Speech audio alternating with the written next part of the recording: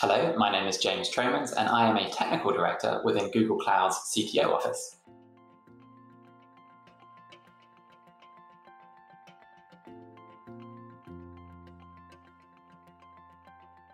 Well, capital markets has a long and rich history of automation and quantitative analysis within the front office, especially around market making and sales related activities. So, while I think that there is certainly a role for machine learning and AI to play in this space, some of the lower hanging fruit is actually in the middle and back office. For example, automation of some of the more manual um, activities around uh, trade failures and settlements, or predicting when those things will actually happen, which can free up balance sheet for better use elsewhere within the firm.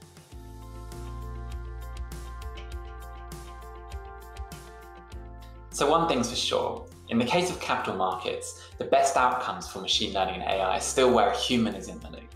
which means those firms that are able to dissolve the boundary between the business, trading and sales, and technology that has historically supported those businesses, so that they can effectively build machine learning and AI models well together are going to lead to the best outcomes in the medium to long run.